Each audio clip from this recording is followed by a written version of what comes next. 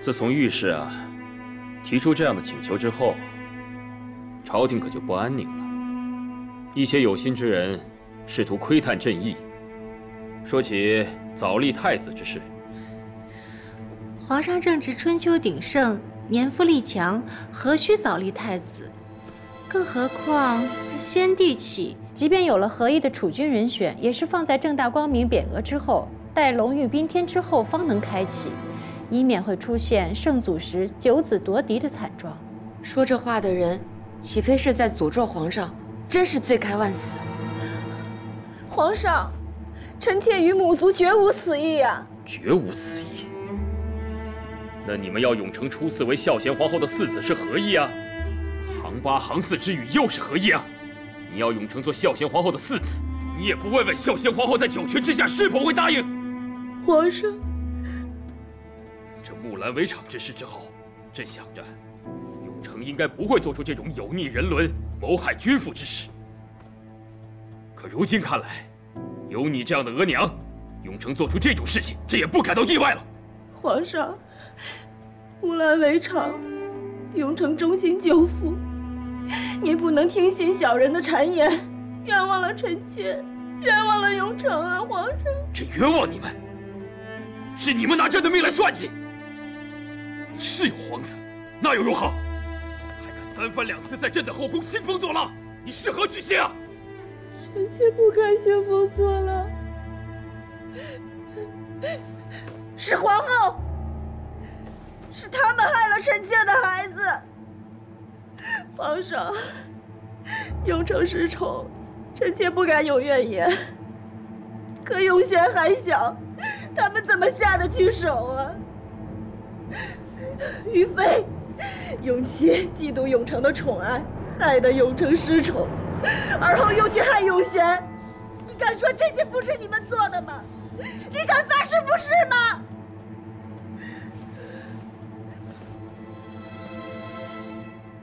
苍天在上，我克里叶特海兰，若有心想害嘉贵妃之子，便不得好死，死后坠入阿鼻地狱，永世不得超生。嘉贵妃，你口口声声说别人害你的孩子，那么你呢？你敢发誓吗？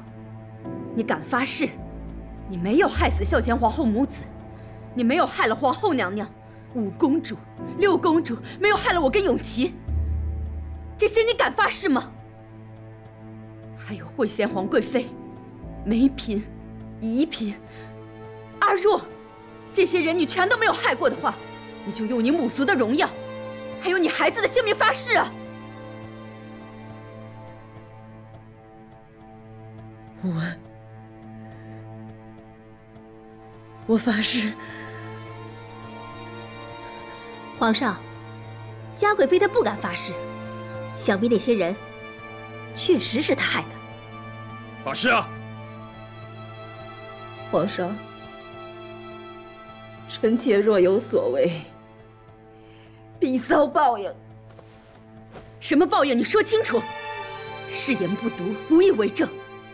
不然这样，你跟我说，我金玉妍若有害过这些人，御史必遭灭族。你这个贱人！我金玉妍和我的孩子不得好死。你竟敢诅咒我们母族！你是个什么东西啊？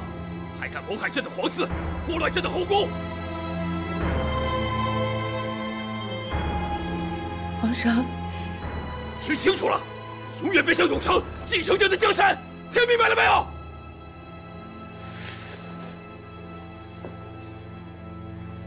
娘娘，皇上如此动怒，要不要去劝劝？皇上对君玉母子早有疑心，尤其是木兰围场的事儿，让皇上寝食难安。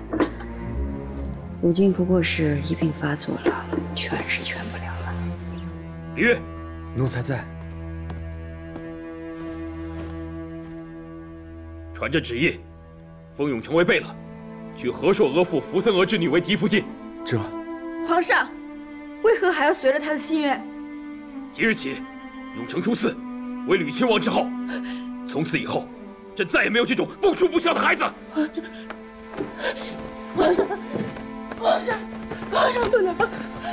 皇上永成是你儿子，你不能让皇上！拖回西相公，废为庶人，囚禁致死！朕不想再见到他，滚！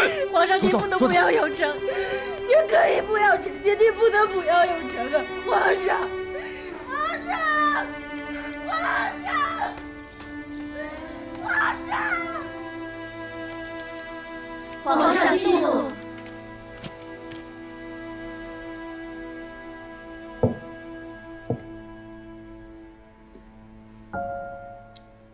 金玉妍母子的路也就到这儿了。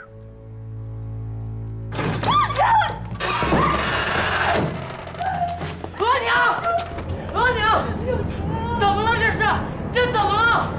四阿哥，额娘，皇上旨意，嘉贵妃禁足，废为庶人。从今往后，不能离开启祥宫半步。来人，额娘，四阿哥出来。别，我不要皇位了，我不要太子了，我只要你呀，额娘，额娘，爸，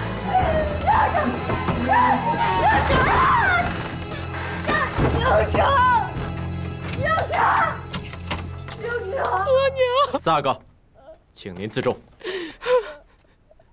走。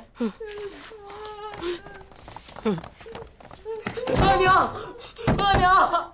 皇上，你可以不要臣妾，你不能不要你的儿子啊，永成。额娘，别哭，儿子在这儿呢。永成，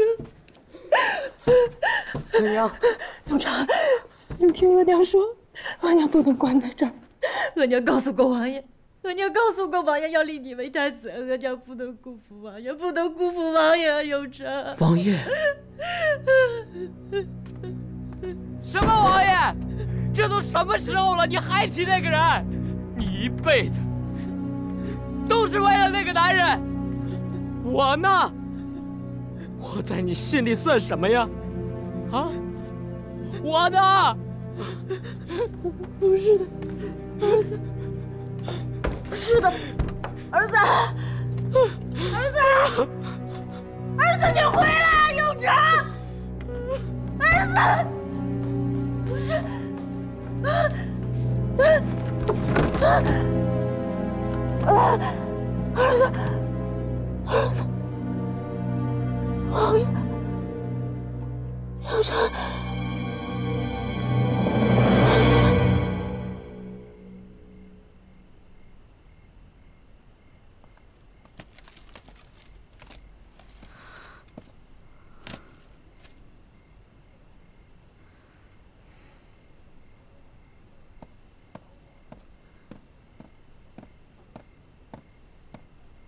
永琪，你怎么在这儿？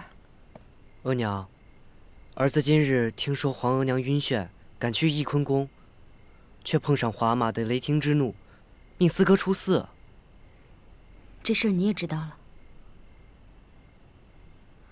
那么，今天入夜之前，你四哥去了吕亲王府，你可有去送行？儿子不敢去。听说四哥孤零零走的，还听说四哥要办喜事了。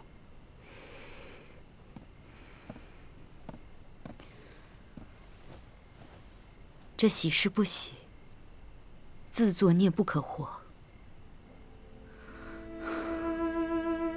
永琪，你三哥失宠，四哥出寺，你皇阿玛疼你，你又是皇后的养子，你可知道？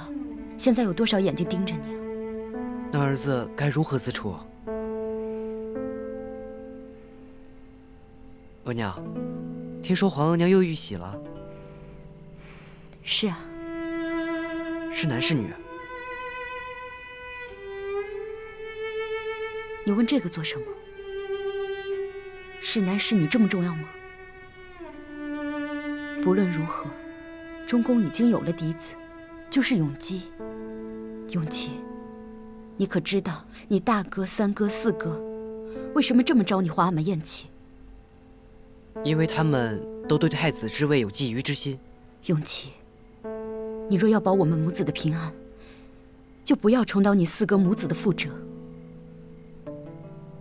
那么，不管是对着你皇阿玛，或是对着永基，都要谨守臣子的本分，不可有妄念。额娘与皇额娘苦心培育儿子，只是为做一个臣子吗？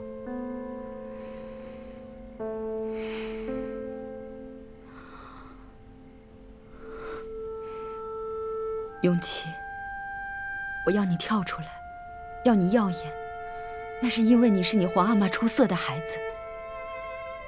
但我要你臣服，让你甘于臣子，那是要保你性命的平安，要你对皇额娘忠诚。